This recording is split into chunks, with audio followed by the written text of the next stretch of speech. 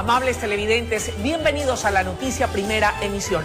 Un gusto saludarte, Jorge. Buenos días. ¿Qué tal, Luisa? Un placer compartir contigo y también con ustedes, amables televidentes. Muy buenos días y bienvenidos a la noticia primera emisión. Un policía lleva varios días desaparecido en Loja. El agente fue visto por última vez en la terminal terrestre de esa ciudad y su vehículo fue encontrado en Santa Rosa, provincia de El Oro. Las investigaciones continúan para dar con el paradero del servidor policial. Han transcurrido cuatro días y aún no se conoce el paradero de Cristian David Solano Aponte, de 36 años y policía de profesión, en el rango de cabo, que no aparece desde la noche del 21 de julio. Bueno, el policía Cristian Solano Aponte de la provincia de Loja eh, se encuentra con una alerta de, de desaparición ya algunos días. En las inmediaciones de la terminal terrestre Reina del Cisne fue visto por última vez. Él festejaba su cumpleaños y habría indicado a sus familiares que regresaría en horas de la madrugada del último sábado. Nosotros estamos en permanente coordinación con el departamento de la Dinastía del Oro, están trabajando eh, en coordinación y articuladamente con eh, la de acá de Loja para eh, continuar con la línea investigativa. Mientras que en un lote baldío del barrio Las Palmeras de la ciudad de Santa Rosa de la provincia del Oro, la Policía Nacional emplazada en esa jurisdicción encontró abandonado el automóvil que conducía Cristian Solano a Ponte. Y si de pronto tienen algún eh, o están involucrados de igual manera eh, con esta desaparición en el, en el cantón Loja. Informó Marcela Constante Brito. 7 de la mañana con 4 minutos, Jorge y amables televidentes. El día de ayer, lamentablemente, dos personas perecieron en el río Guayas. Para tener más detalles de la búsqueda de sus cuerpos, vamos a tomar contacto en exteriores con nuestro compañero Jorge Salazar, quien se encuentra transmitiendo en vivo desde el cantón Eloy Alfaro Durán. Mi querido Jorge, cuéntanos ¿Hay alguna novedad a esta hora de la mañana, cuando son las 7 con 4 minutos? ¿Se han reanudado las labores de búsqueda? Luisa Jorge, amigos, ¿qué tal? Eh, buenos días. Eh, lamentablemente, aún los cuerpos de los jóvenes de 17 y 18 años de edad continúan desaparecidos. En lo que va esta mañana no se ha observado ni a los elementos de la Policía Nacional ni del Cuerpo de Bomberos realizando alguna tarea de búsqueda. Familiares de uno de los eh, eh, ciudadanos están acá presentes y exigiendo a las autoridades que se active pues eh, esta búsqueda para de esta forma poder hallar los cuerpos y continuar con los procedimientos de ley. Aquí estuvo presente ayer un equipo de la noticia y conversó con los habitantes del sector, con los familiares, para conocer qué mismo pasó eh, durante la desaparición de estos dos jóvenes, uno de ellos de 18 años de edad, habitante de este sector, quien había venido acá sin el permiso ni el consentimiento de sus padres.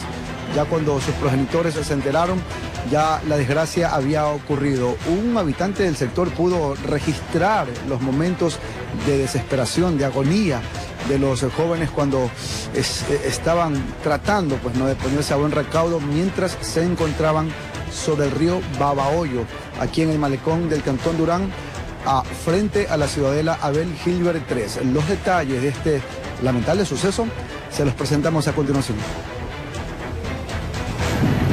De repente la jornada de distracción pasó a momentos de desesperación y uno de los amigos se ahogaba. Y así uno de sus compañeros se lanzó al río para salvarlo y otro iba más atrás, también para colaborar en el rescate. Trataban de levantarlo, pero quien se estaba ahogando lo abrazaba y él gritaba que lo suelte. La desesperación se apoderaba ya no de uno, sino de dos ciudadanos que sus vidas corrían peligro. La tercera persona se regresó para solicitar más ayuda, y de los otros dos no se supo más. Han habido personas que han estado grabando, han estado ahí, pero no han sido capaces de algo, no sé, pedir ayuda, no sé. Y ahí se ve que ellos están luchando, queriendo salir. Lamentablemente a veces los hijos hacen, uno está trabajando y ellos no sabemos lo que están haciendo. Y han venido a nadar aquí con, con dos, tres amigos. Él es el padre de Johnny Guananga Aspiazu, que recién cumplió 18 años la semana anterior y suplica que las tareas de búsqueda se reinicien la mañana de hoy jueves. Esto ocurrió en el río que se encuentra frente a la ciudadela Bel Gilbert, al pie del puente basculante en el cantón Durán, provincia de Guayas, donde la madre de Johnny también se acercó, desesperada, y solo quiere verlo. Que me ayuden, por favor, ayúdenme a mandar un bote, no sé, de la marina, lo que sea, pero yo necesito encontrar el cuerpo más que todo de mi hijo, necesito ver a mi hijo, por favor.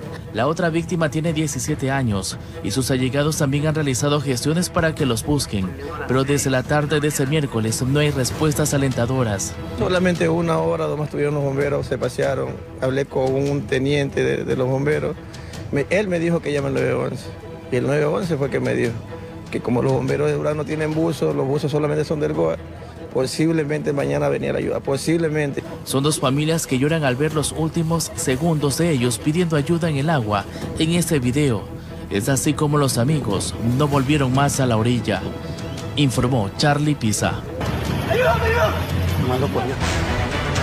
Este lamentable hecho ocurrió ayer aproximadamente a las 15 horas, justamente a esta altura del río Babahoyo, a escasos metros del puente basculante que une Durán con la isla Santay.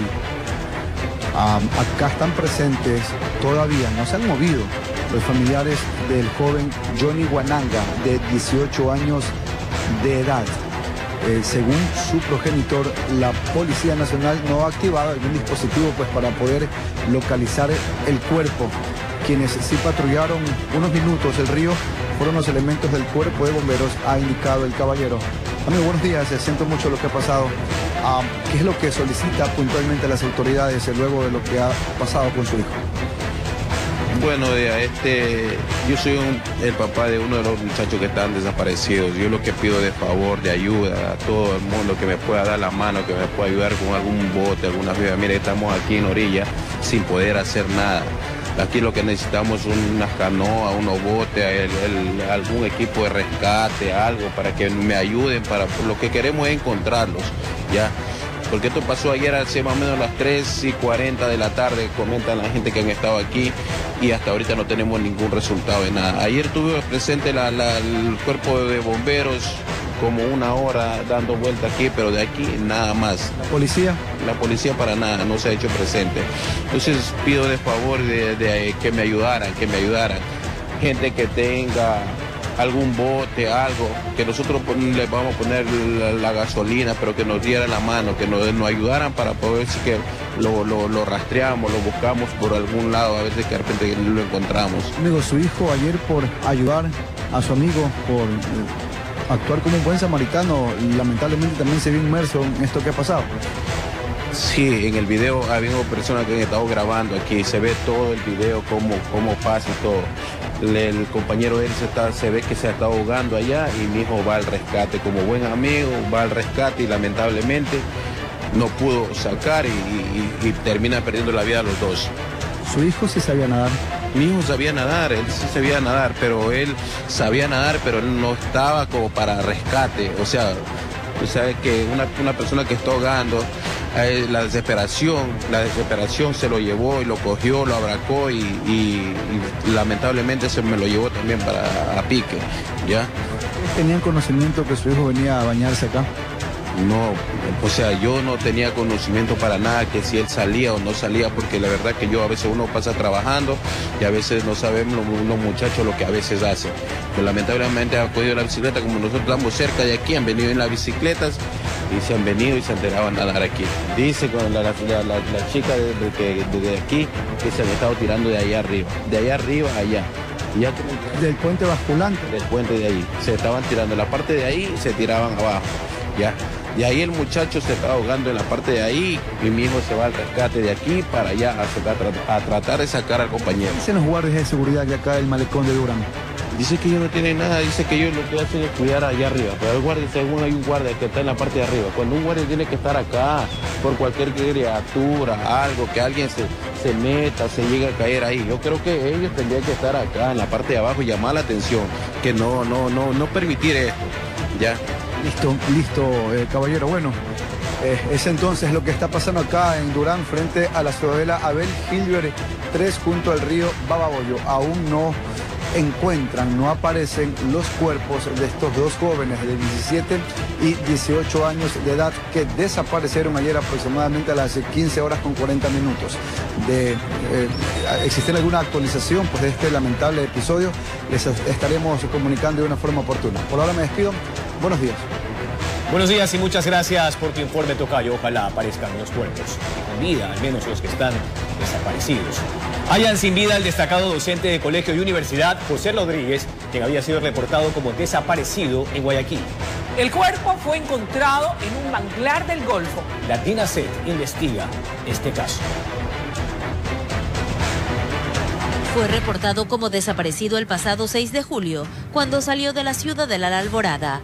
Veinte días después, el profesor José Javier Rodríguez Moreno apareció sin vida, flotando a orillas de un estero en el Golfo de Guayaquil. Según información de la DINASET, el cadáver fue encontrado entre el manglar en estado de descomposición y se investiga este caso como presunto asesinato.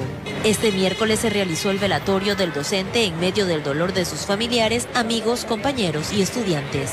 En Ecuador estamos pasando una circunstancia muy difícil y Guayaquil es un foco realmente muy complicado.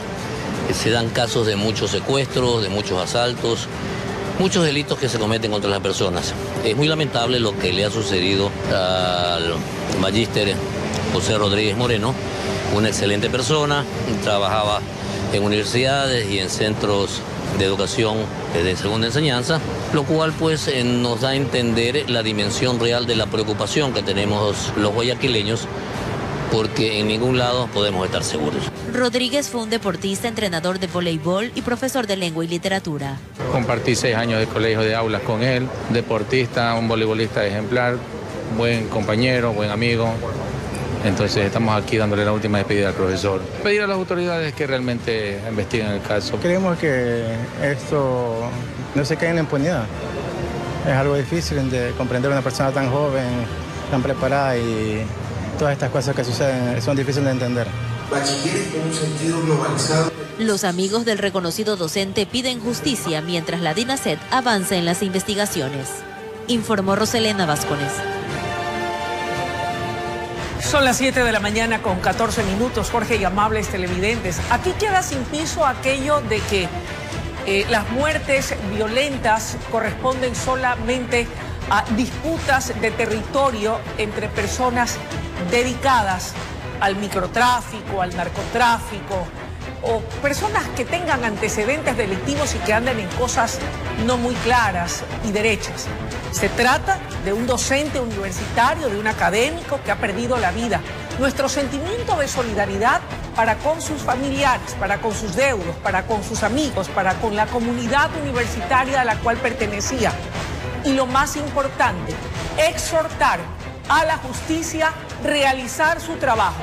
No es posible que la muerte de este ciudadano se sume a las de muchos otros casos que lamentablemente quedan en la impunidad. Y que finalmente la justicia, Luisa, estimados televidentes, logre identificar a los autores materiales e intelectuales.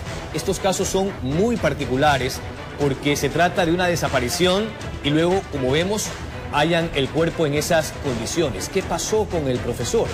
Era deportista, un buen ser humano, excelente profesional. Hemos escuchado los testimonios de las personas que lo conocieron en su momento. Sus alumnos también están llorando su partida y de seguro su familia. Así que la DINASET tiene un arduo trabajo allí en torno a la muerte de este docente. Paz en su tumba. Son las 7 de la mañana con 16 minutos y vamos a cambiar de tema para contarles que con resguardo policial, Marciana Valdivieso inició sus actividades como alcaldesa de Manta tras asumir el cargo luego del asesinato de Agustín Intriago. La próxima semana el Consejo Cantonal definirá quién ocupará la vicealcaldía. Veamos los detalles. Acompañada por elementos de la Policía Nacional, así Marciana Valdivieso asumió la alcaldía de Manta tres días después del asesinato del exalcalde Agustín Intriago. Muy pendiente de la información que podamos tener respecto a las investigaciones que se están haciendo con respecto al crimen que se cometió contra nuestro alcalde Agustín Intriago. Estamos vigilantes también a que se pueda hacer justicia. El crimen ocurrió cuando ultimaba detalles para la inauguración del Plan Legado Manta, un paquete de obras que seguirá impulsando la actual administración municipal. El plan legado es un paquete de siete obras, entre ellas la construcción del megaparque, la mejora de las seis calles principales de la ciudad, también el estudio para la planta de tratamiento de agua, la construcción del malecón de San Mateo. La próxima semana será principalizado como concejal el alterno de la hora alcaldesa. Ese día también se definirá quién ocupará la vicealcaldía. El jueves de la próxima semana, en sesión ordinaria. Por ahora, bajo estrictas medidas de seguridad, se retoman las actividades en el Palacio Municipal. Aquí lo que hemos trabajado con él siempre, tratando de, de continuar con su legado, con su proyecto, con su objetivo, con todo lo que él proyectó para la ciudad. Con cámaras de Eduardo García desde la provincia de Manabí, informó Wendy Delgado. Autoridades policiales anunciaron nuevas cifras en torno al número de fallecidos durante los enfrentamientos en la penitenciaría del litoral. Tenemos todos los detalles, presten mucha atención. Veamos. Entre las entidades de control no hay acuerdo sobre la cifra real de fallecidos en el interior del Centro de Privación de Libertad Guayas número 1. En el inicio de la semana se dijo que eran seis los privados de libertad que fallecieron. La tarde del martes la Fiscalía anunció el hallazgo de 31 cadáveres, pero un día después la Policía Nacional salió a dar una nueva cifra. Hasta el momento tenemos 11 cadáveres y 29 piezas anatómicas están realizando la recolección y estamos todavía verificando en sus alrededores y en la parte interna con la finalidad de poder determinar exactamente cuántos cadáveres existen y si esas piezas anatómicas pertenecen a estos cadáveres o a otros cadáveres. Junto a este nuevo número de cadáveres también se presentó el resultado de los operativos ejecutados en el interior de los pabellones de la penitenciaría. Participamos 1.500 señores servidores policiales a nivel nacional, inclusive vinieron policías de otras provincias con unidades tácticas, grupos élites de la Policía Nacional, como es el caso del GIR, el GOE, el GEMA. En esta ocasión, aquella tropa que logró ingresar buscó a través de paredes, murales y en tantos sitios inimaginados, pero que estos grupos delictivos se las ingeniaban para convertirlos en caletas donde ocultaron sus armas. 13 armas cortas, es decir, entre pistolas y revólveres, tenemos 13 armas largas, fusiles, tenemos una lanza granada y tenemos una granada. Tenemos también 6 radios de comunicación, 127 celulares, 5 chalecos, tenemos 4.341 dólares, eh, eh, dinero en efectivo, tenemos 6.000 municiones de diferentes calibres, eso llama muchísimo la atención.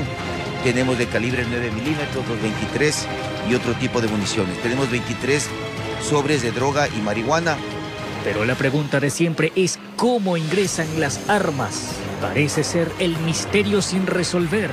De eso solo se escuchan murmuraciones que dan pistas, pero no hay autoridad alguna que pueda decir abiertamente quiénes están detrás y cómo lo logran. Informó José Morales. Son las 7 de la mañana con 21 minutos. Jorge y amables televidentes, pedimos a producción replicar en nuestra pantalla imágenes que dan cuenta del el secuestro al conductor de una unidad de servicio público urbano en el cantón Eloy Alfaro Durán, en la cooperativa 16 de octubre. Allí tienen estas imágenes que se han viralizado ya en las redes sociales y en ellas se puede apreciar cómo es secuestrado el conductor de esta unidad de servicio público urbano de el cantón Eloy Alfaro Durán, donde ni el estado de excepción decretado por 60 días es un impedimento para que se den hechos violentos y delictivos como el que podemos ver en pantalla. Allí están al menos tres sujetos, se bajan de ese auto que dicho sea de paso, cuenta con su placa sin ningún problema y también con películas antisolares que se supone están prohibidas para la circulación. Un hombre de aproximadamente 55, yo diría hasta 60 años de edad, conductor de ese bus que según lo que podemos apreciar es una unidad de la cooperativa Panorama allá en Durán. Ahí están los sujetos armados, toman al conductor y se lo llevan. Ha sucedido en el cantón Durán y es el llamado que se hace a las autoridades porque a propósito de lo que sucede en Durán, estado de excepción, entre comillas, se asignaron a 1.500 efectivos de las Fuerzas Armadas, del Ejército, y 200 policías más, con lo cual son cerca de 1.800, 1.700 efectivos adicionales para que se encarguen de custodiar a los ciudadanos. Se entiende que este tipo de secuestros se generan en momentos de distracción, en el patrullaje, en los operativos, pero, insistimos, esto está sucediendo pese al estado de excepción, Luis. Claro que sí, no en vano, ya suman 12 el total de los estados de excepción que se han decretado durante el ejercicio de gobierno del presidente Lazo, pero que lamentablemente no han dado sus frutos y terminan siendo un saludo a la bandera. Son las 7 de la mañana con 23 minutos con estas imágenes del secuestro del conductor de una unidad del Servicio de Transporte Público Urbano en el Cantón Eloy Alfaro Durán, en la cooperativa 16 de octubre. Nos vamos a una breve pausa. Enseguida volvemos con más aquí en la noticia, primera emisión.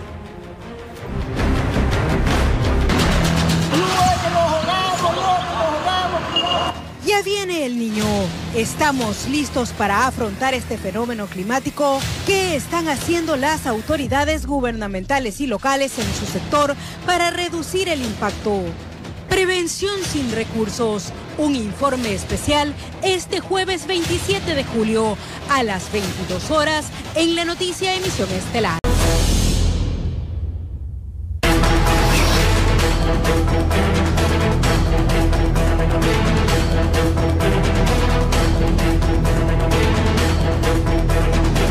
De la mañana con 30 minutos. Continuamos con más. En medio de atentados, saqueos y demás, la Policía Nacional intenta disminuir los índices de asaltos. Adriana Peralta está en uno de los puntos más conflictivos de Guayaquil. Adriana, adelante.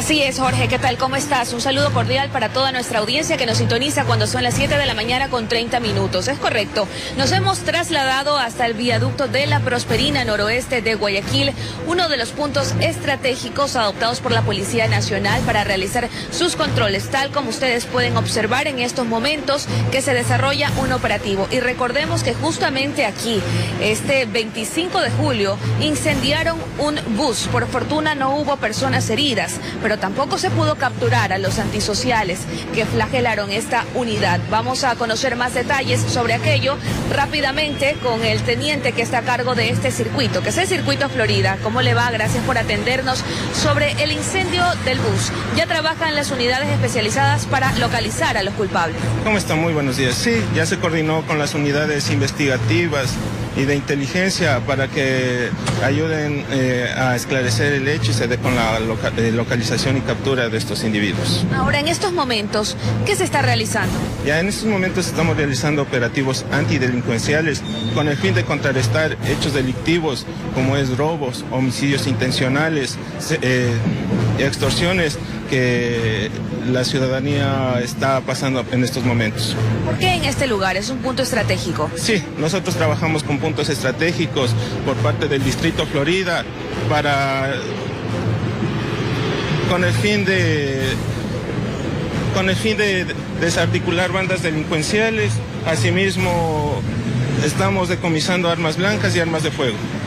Muchísimas gracias. Aquí vamos a conocer la opinión de la ciudadanía. Mi amigo, ¿qué tal? ¿Cómo está? Colaborando con los uniformados. Su opinión sobre este trabajo policial. Eh, es necesario esto para que pueda trabajar estos índices de violencia que hay. ¿Qué punto le parece correcto? Es algo estratégico, ¿no? Sobre todo después de lo que pasó este 25 de julio. Sí, muy, nomás, muchísimas gracias a usted por colaborarnos. Recordemos que de acuerdo a lo que indicó el municipio de Guayaquil, que después de estos hechos violentos registrados, precisamente la alcaldía activó todo su contingente y a través de la Corporación para la Seguridad Ciudadana, en coordinación con la Policía y Fuerzas Armadas, se protegen sitios estratégicos de la ciudad, tales como gasolineras, ubicadas en sectores con un alto nivel de violencia y las instalaciones desde donde se suministra el agua potable para los guayaquileños, han indicado. Asimismo, el cuerpo de agentes de control metropolitano resguarda las instalaciones de 25 unidades educativas. Por otra parte, la ATM desplegó personal en 11 vías anexas a la penitenciaría del litoral. Justamente es lo que se detalla en un comunicado por parte de la municipalidad de Guayaquil. Y en estos momentos, 7 de la mañana con 33 minutos, vemos allí cómo las personas están colaborando con los uniformados. Aquí le han pedido la documentación al caballero, abrió ya la parte trasera de su vehículo para que se haga la revisión respectiva. Sí, me parece muy, muy acertado el trabajo que está haciendo la policía. Ya era tiempo que, a esta hora más que todo, que son horas bien eh, apetecidas para los delincuentes para cometer sus fechorías. Claro, por aquí no tienen prácticamente dónde escapar. Sí, está bien. Me parece muy buen, muy buen trabajo. Muchísimas gracias, amigo. Acá también el señor que ya entregó su cédula, ya verificaron que todo se encuentra en orden y procede. Asimismo, allá todos los carros, cómo están desplegados también los elementos de la Policía Nacional y lo importante también será que puedan capturar a los implicados en lo que fue la destrucción o la quema de esta unidad de transportación urbana que, repito, por fortuna no dejó personas heridas, pero sí será importante y ojalá que puedan capturar a estos delincuentes. Es la información que se registra a esta hora. Más noticias con ustedes. Adelante, compañeros. Gracias Adriana por ese completo reporte a esta hora de la mañana, cuando son las 7 con 35 minutos. Quiero contarles que un joven de 23 años fue asesinado por sicarios en el Cantón Pasaje, provincia de El Oro. La víctima, quien registra tres procesos judiciales, fue baleada cuando conversaba en el portal de una vivienda. Veamos. Asesinato, muchacho, en la primera de noviembre. El cuerpo de Abdul Pumachuya permanecía tendido en la acera del barrio 11 de julio en el cantón Pasaje, ante el llanto y lamentos de sus familiares quienes no daban crédito a lo ocurrido. Por versión de los moradores indicaron que el ciudadano Yoxiso, mientras se encontraba conversando en el exterior de su, del domicilio de un allegado, eh, arriban dos motocicletas a bordo de dos ocupantes cada uno eh, realizan varias detonaciones de arma de fuego en contra de la humanidad de los ciudadanos que se encontraban en el exterior del domicilio. El suceso ocurrió la noche del miércoles 26 de julio. Puma recibió 13 impactos de bala, uno se alojó en la cabeza. Familiares y vecinos procedieron a trasladarlo hasta el hospital básico donde los médicos comprobaron su deceso. El galeno de turno indicó que presentaba varias, varios impactos de producto del paso de proyectil de arma de fuego. El personal de DINASED recabó información en el lugar mientras agentes de criminalística levantaban indicios. Se conoció que la víctima tenía varios procesos judiciales. Eh, la persona registra detenciones, varias, tres detenciones por varias causas, pero no antecedentes penales. El cuerpo del infortunado hombre fue trasladado hasta el centro forense para la necropsia de ley, informó Richard Ceballos. La policía detuvo a seis sujetos presuntos integrantes de un grupo de delincuencia organizada acusados de intentar disparar a los uniformados en Esmeraldas.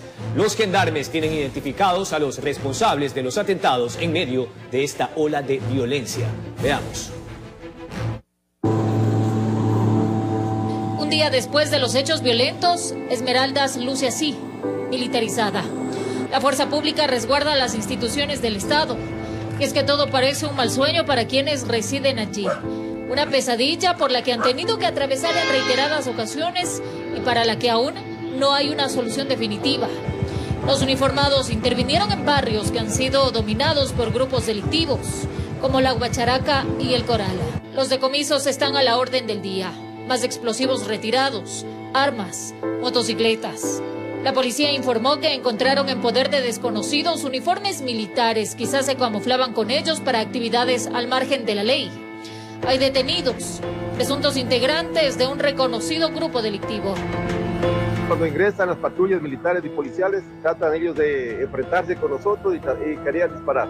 Pero la intervención inmediata eh, se, se produjo la aprehensión de las seis personas y el arma de fuego tipo revólver. Ya tienen plenamente identificados a quienes participaron en los 14 incidentes violentos que se registraron el martes y al responsable de haber apuntado con una pistola en la cabeza a un policía. Estamos atrás de estos delincuentes que ayer incineraron los ocho vehículos, tanto en Esmeraldas, Atacame, Dicundé, ya están identificados y vamos a dar con ellos.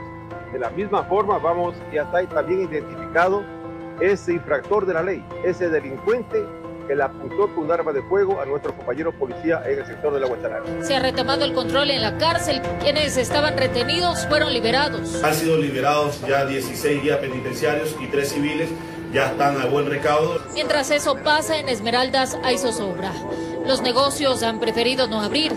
El comercio se ha paralizado en muchas horas a la espera de que todo se calme, de que algún día regresen a ser aquella tierra tranquila tranquilidad que les ha sido arrebatada por los grupos de delincuencia organizada. Informó Marilyn Jaramillo. 7 con 39 minutos, el gobierno nacional trasladó equipos tácticos y de inteligencia a la ciudad de Esmeraldas para evitar que se repitan hechos violentos en esa urbe. Juan Zapata, ministro del Interior, confirmó que se trata de una guerra por mantener el control de ese territorio. La violencia que se apoderó de las calles en algunas ciudades del país, como es del caso de Esmeraldas, sin duda a más de uno puso los pelos de punta y el gobierno nacional espera no se vuelva a repetir. Esmeraldas hemos enviado personal de apoyo de la unidad de mantenimiento del orden y equipos tácticos y equipos de inteligencia. Tenemos los cinco detenidos que justamente están vinculados con el tema de, de, de los explosivos y sobre todo los atentados. A Juan Zapata, ministro del Interior, le preocupa lo ocurrido con un uniformado, a quien en imágenes se le vio amenazado con un arma de fuego y un explosivo. Inteligencia está atrás de este delincuente, esto no lo vamos a poder, no lo vamos a permitir ni vamos a dejar pasar. Y, ojalá pronto eh, estemos poniendo a, a órdenes de la autoridad competente si es que es el caso porque ustedes saben que la, la, disposición es absolutamente clara. La utilización de armas letales cuando se generen las amenazas, eso, esa disposición sigue absolutamente clara. Y todo tendría su razón de ser para que aparente aliados de internos generen el caos. Ministro, ¿a quién respondería estos, precisamente estos actos de estas personas? ¿De algún grupo? ya tiene... esto, esto tienen que tener absolutamente claro que la fuerza coercitiva del Estado, al hacerse presente en los pabellones, en la penitenciaría, existen las reacciones y esas reacciones se dan en los territorios, obviamente, que ellos tienen eh, injerencia, especialmente en Esmeraldas. Recuerden lo que pasó en noviembre. En noviembre, cuando intervenimos también en ciertos eh, pabellones, tuvimos las reacciones en Durán eh, y obviamente en Santo Domingo y también en Esmeraldas. Sin duda el ciudadano común lo único que exige es poder vivir en paz, sin tener que estar esquivando balas en espacios públicos. Pero sí cambiar el accionar de la policía porque es un nuevo escenario el que estamos viviendo. Bueno, siempre las cárceles han estado dentro del radar de la policía, porque recuerden ustedes que la violencia es intra y extramuros. Así que siempre ha estado en... Esperemos que la tranquilidad eh, vuelva. Eh, se mantenga. Este sería el resultado de la posible guerra de grupos antisociales por mantener el control. En algunas zonas, informó Héctor Romero. Información política, los candidatos intensifican sus campañas y visitan varias provincias del país para explicar sus propuestas a los ciudadanos. Aquí una síntesis de sus actividades. La candidata a la presidencia Luisa González del Movimiento de la Revolución Ciudadana mantuvo una reunión en el Cantón Durán con varios representantes de sectores como transportistas, agricultores, comerciantes, asociación de mercados, pescadores, entre otros. Se enfocó en escuchar las inquietudes que presentan cada uno de ellos en sus actividades y se comprometió que de llegar al gobierno implementará soluciones para mejorar la producción en el país. Otto Sonnenholzner, candidato presidencial, mantuvo un encuentro con artistas en la ciudad de Guayaquil, donde presentó su plan social, económico y de seguridad. Asimismo, les indicó que trabajará para que existan incentivos para empresarios y generar el crecimiento del arte en el país. El presidenciable Yacu Pérez se reunió con economistas ecuatorianos en Quito para incorporar el eje económico en su plan de gobierno. Además, en una mesa de trabajo los expertos analizaron cuál sería el déficit económico que tendrá el país el próximo año y las soluciones que se pueden realizar para reducir de forma exponencial los índices de pobreza e inseguridad que atraviesa el país. Jan Topic, aspirante a la presidencia de la República, recorrió las calles Febres Cordero, que se encuentran ubicadas al suroeste de Guayaquil. Durante su recorrido puerta a puerta les mencionó la importancia de trabajar con fuerza, la seguridad del Ecuador. Es así como les indicó a los ciudadanos que su enfoque está en implementar medidas contundentes para combatir la delincuencia.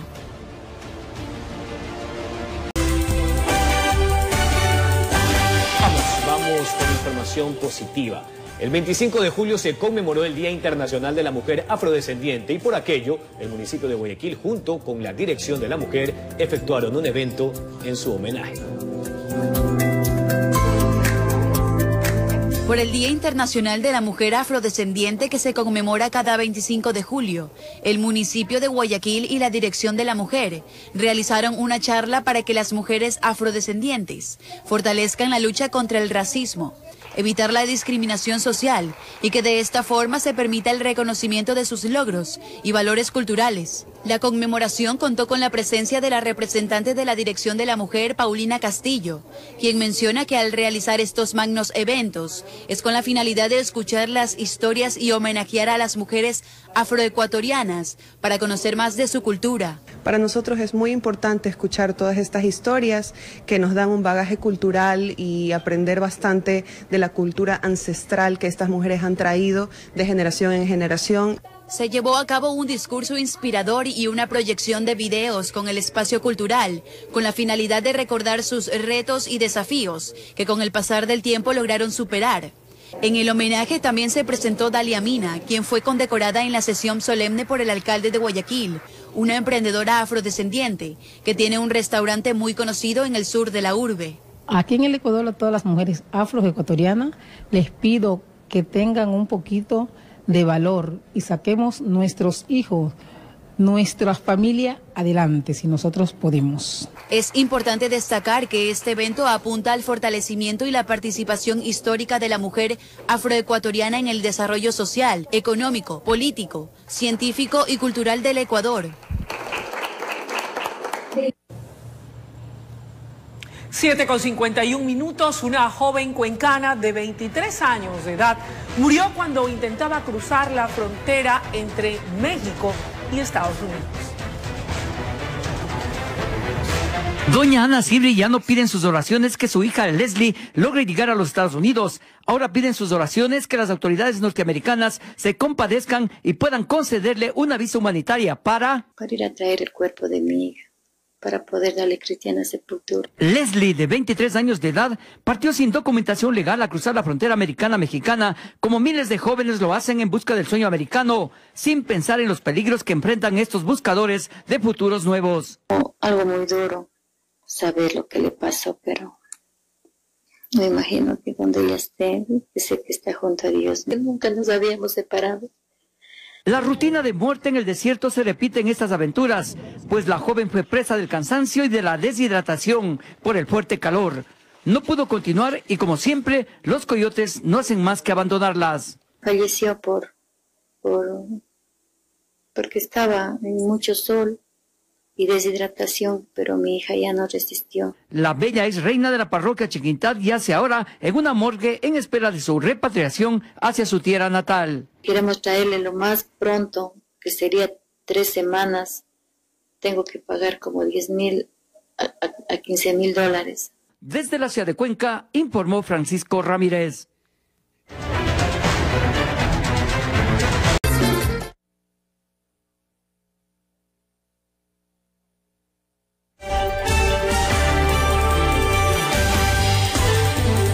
Amigos, así concluye la presente emisión de la noticia. Muchas gracias por su atención. Enseguida viene la comunidad.